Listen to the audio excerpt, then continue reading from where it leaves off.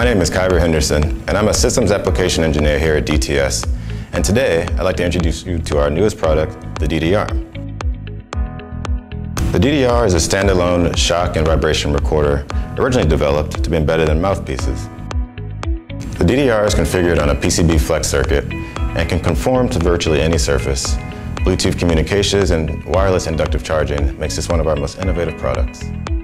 Each DDR comes with a wireless inductive charging coil, flash memory, magnet switch, light sensor, microprocessor, triaxial linear accelerometer, triaxial angular accelerometer, and battery. You'll need a charging case for your DDR unit, which will allow for communication to a PC via USB inductive charging between the charger and the DDR unit, and Bluetooth communication between the charger and DDR.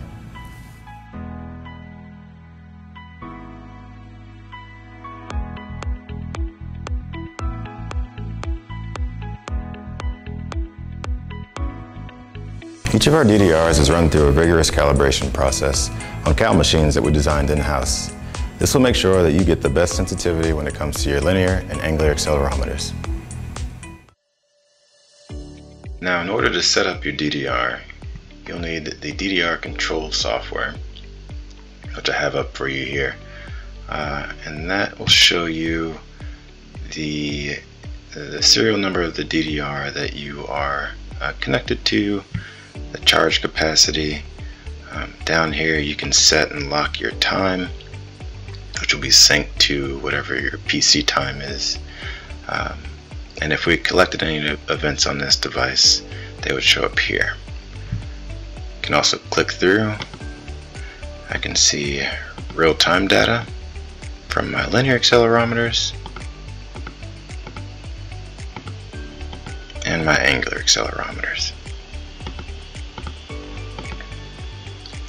Now let's go ahead and set this device up for our uh, demo here so I'm going to go up to initialize. And this new window that's popped up shows me my sampling rate which is set at 5500 Hertz. Uh, my recording time which I have at 100 milliseconds or 0.1 seconds.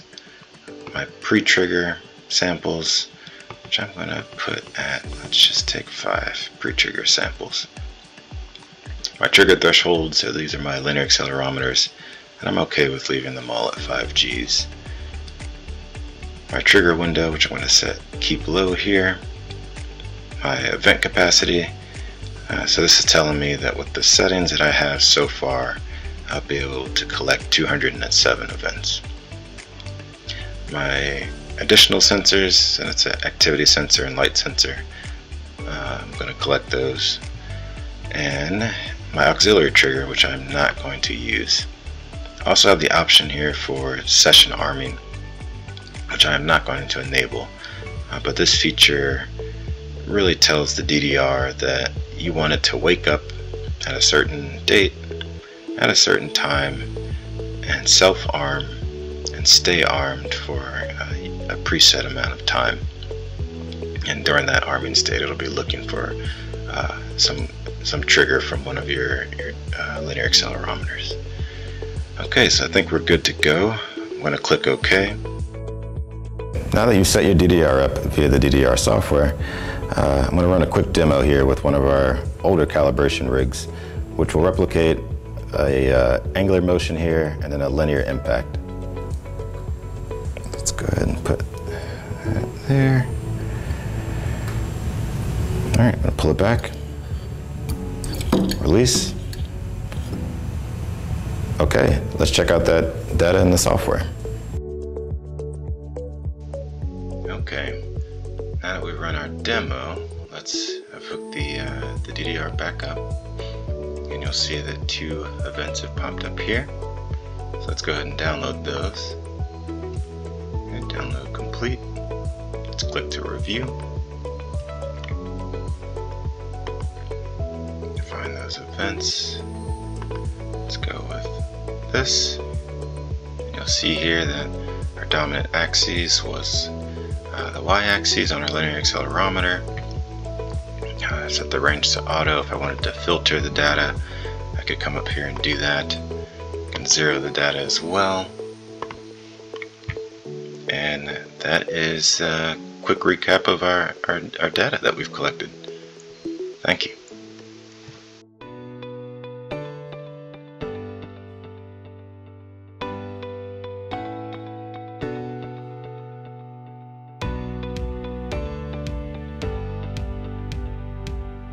DDR could also be used for monitoring head strikes while wearing construction PPE. Take it. Fits that curved surface. If you wanted to monitor heel strikes while a patient was wearing a boots perhaps, you could just take a DDR, slide it in there like that. There you go. The DDR is also flexible enough to fit inside of a pill bottle. You ever wanted to track pharmaceutical manufacturing process. The DDR can be used for monitoring high asset value packages